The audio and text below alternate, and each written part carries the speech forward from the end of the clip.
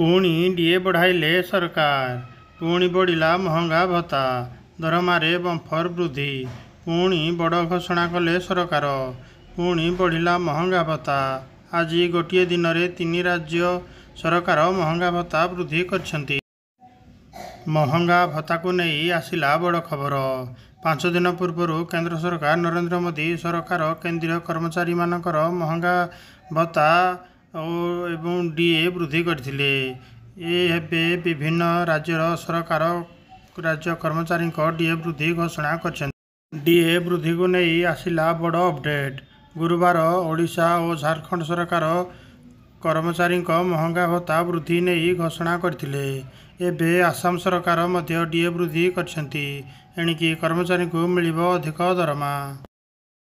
ଆସାମ ମୁଖ୍ୟମନ୍ତ୍ରୀ ହେମନ୍ତ ବିଶ୍ବ ଶର୍ମା ଏନେଇ ଘୋଷଣା କରିଛନ୍ତି। ଆସାମ ସରକାର ସରକାରୀ କର୍ମଚାରୀମାନଙ୍କର ମହଙ୍ଗା ଭତ୍ତାରେ ଚାରି ପରସେଣ୍ଟ ବୃଦ୍ଧି କରିଛନ୍ତି। ପୂର୍ବରୁ ଆସାମର ସରକାରୀ କର୍ମଚାରୀ ଛୟାଳିଶ ପ୍ରତିଶତ ମହଙ୍ଗା ଭତ୍ତା ପାଉଥିଲେ। ଏବେ ସେଥିରେ ଚାରି ପ୍ରତିଶତ ବୃଦ୍ଧି ହେବା ପରେ ଏବେ କର୍ମଚାରୀମାନେ ମହଙ୍ଗା ଭତ୍ତା ଆକାରରେ ପଚାଶ ପରସେଣ୍ଟ ଦରମା ପାଇବେ। ସିଏମ ହେମନ୍ତ ବିଶ୍ବ ଶର୍ମା ପ୍ରେସ କନଫରେନ୍ସ କରି କହିଛନ୍ତି ଯେ କର୍ମଚାରୀମାନଙ୍କ ମହଙ୍ଗା ଭତ୍ତା ରାଶି ପିଛିଲା ଜାନୁଆରୀ ଏକ ତାରିଖରୁ ଲାଗୁ ହେବ। ସେହିଭଳି ପେନସନଭୋଗୀଙ୍କ ଭତ୍ତା ମଧ୍ୟ ବୃଦ୍ଧି ଘଟାଇଛନ୍ତି।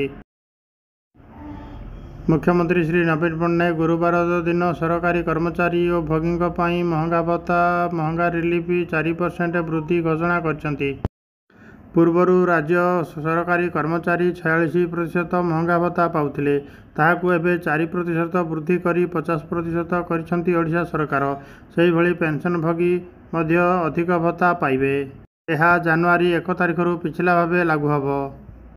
ଏହାଦ୍ୱାରା ରାଜ୍ୟର ଚାରି ପଏଣ୍ଟ ପାଞ୍ଚ ଲକ୍ଷ ସରକାରୀ କର୍ମଚାରୀ ଏବଂ ତିନି ପଏଣ୍ଟ ଚାରି ଲକ୍ଷ ପେନସନଭୋଗୀ ଉପକୃତ ହେବେ। ସେପଟେ ଝାରଖଣ୍ଡ ସରକାର ମଧ୍ୟ ହୋଲି ପୂର୍ବରୁ ମହଙ୍ଗା ଭତ୍ତା ବୃଦ୍ଧି କରିଛନ୍ତି। ସରକାରୀ କର୍ମଚାରୀ ଡିଏ ରେ ଚାରି ପ୍ରତିଶତ ବୃଦ୍ଧି କରିବାକୁ ନିଷ୍ପତ୍ତି ନେଇଛନ୍ତି ସରକାର। ଚମ୍ପାଇ ସୋରେନ ସରକାରଙ୍କ ଏହି ବଡ଼ ଘୋଷଣା ପରେ କର୍ମଚାରୀ ଖୁସି ହୋଇଯାଇଛନ୍ତି। ମହଙ୍ଗା ଭତ୍ତା ଓ ଆର୍ଥିକ କର୍ମଚାରୀ ଡିଏ ଛୟାଳିଶ ପ୍ରତିଶତରୁ ଚାରି ପରସେଣ୍ଟ ବୃଦ୍ଧି ପାଇ ପଚାଶ ପ୍ରତିଶତରେ ପହଞ୍ଚିଛି।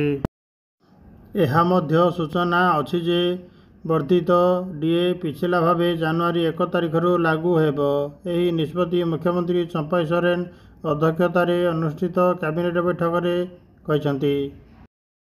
ଡିଏ ବଢ଼ିବା ଫଳରେ ଝାରଖଣ୍ଡର ଏକ ପଏଣ୍ଟ ନବେ ଲକ୍ଷ କର୍ମଚାରୀ ଓ ପେନସନଭୋଗୀ ଉପକୃତ ହେବେ। ଭିଡ଼ିଓଟି ଭଲ ଲାଗିଥିଲେ ଗୋଟେ ଲାଇକ ଏବଂ ସବସ୍କ୍ରାଇବ କରନ୍ତୁ।